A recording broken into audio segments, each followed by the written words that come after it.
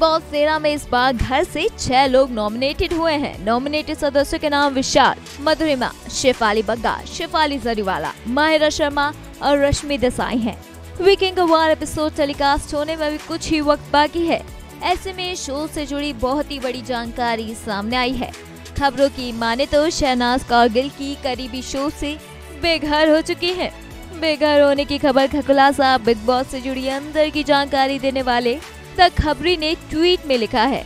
इस ट्वीट के मुताबिक शेफाली बग्गा शो से बाहर हो चुकी है, लेकिन अभी तक बिग बॉस की तरफ़ से इसकी कोई भी अनाउंसमेंट नहीं की गई है और न ही ई ट्वेंटी फोर की टीम की तरफ़ से हम आपको ये ऑफिशियली बता रहे हैं। शेफाली बग्गा इस शो में सबसे ज़्यादा शहनाज की करीबी है। शहनाज सिद्धार्थ के अलावा शेफाली के साथ बात करती है। शेफाली के घर से बेघर होते ही शहनाज को बड़ा झटका लगेगा। शेफाली शो में शहनाज को अक्सर समझाती हुई नज़र आती है।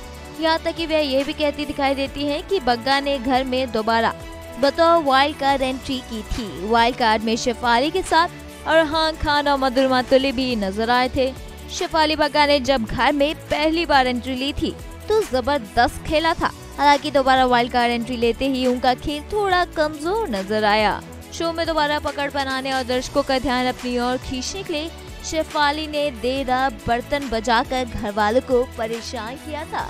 शेफाली के ऐसा करते ही घर वाले परेशान हो गए थे और उन्होंने शेफाली को बाथरूम में बंद कर दिया था।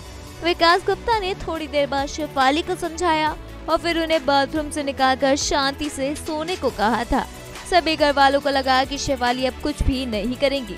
सुबह होते ही शेफाली ने फिर से घर वालों को उठाना शुरू कर दिया था। इसी दौरान उनकी मधुरिमा तुली से भी बहस हो चुकी थी।